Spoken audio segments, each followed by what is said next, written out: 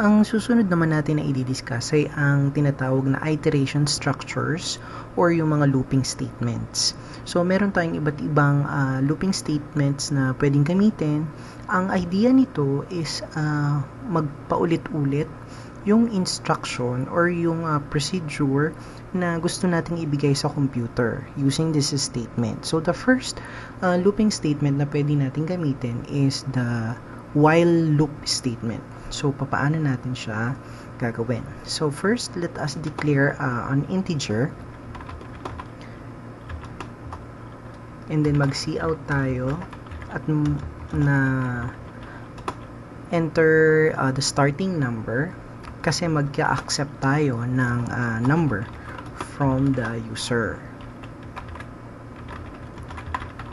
And then, from this number, ilulup natin or i-iterate natin pamula sa starting number pababa hanggang sa zero yung uh, display. So, hindi natin kailangang isa-isahing i-display ang mga number. So, pwedeng paulit-ulitin na lamang natin yung instruction using our looping statements. And then, let's have our cin. And then the variable n. And then, yung syntax para sa while loop statement is the word while and then the condition. So, kapag ang n is greater than 0, then we have parentheses, curly braces rather, and then mag-cout tayo ng yung number and then maglagay tayo ng uh, comma para separator para sa bawat number na madi-display pag nag-iterate tayo ng number. And then, maglagay tayo ng n is equal to n plus 1 or minus 1.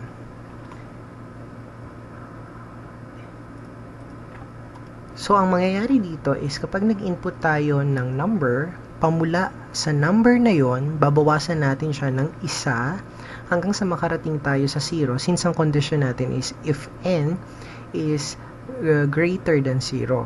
Okay? And then, uh, katulad nung na-discuss natin previously, aside from uh, writing n is equal to n minus 1, pwede natin siyang isulat as n minus minus kung maaalala ninyo yung discussion natin about compound statements. So, uh, uh, try nating i-run ang program natin and then test kung ano ang magiging display natin.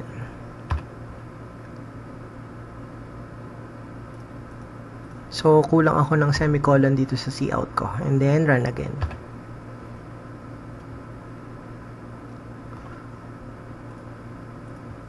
Mali ang aking uh,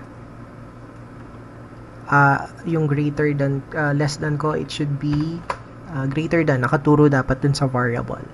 Then run again the program.